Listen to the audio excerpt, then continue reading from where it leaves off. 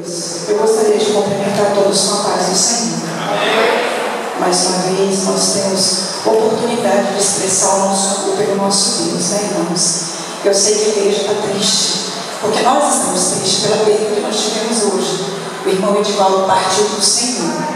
Né? E o nosso humano, a nosso, o nosso humano sofre, chora, mas nós sabemos que Ele está melhor do que nós. É? É essa consciência que nós temos que ter. Deus prepara, Deus leva.